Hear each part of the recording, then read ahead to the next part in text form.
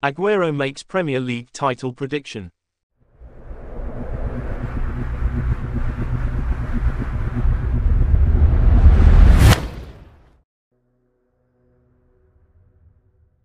Speaking to Stake, Sergio Aguero insisted Liverpool are Premier League title contenders despite Jurgen Klopp's departure in the summer.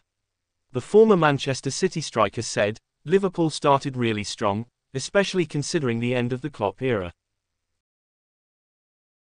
They have still proven themselves to be one of the teams to beat to win the title, as they have been in recent seasons.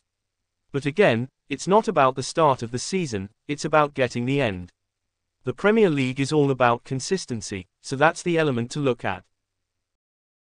If you liked the video, leave a like, subscribe to the channel, turn on notifications and don't miss the next videos.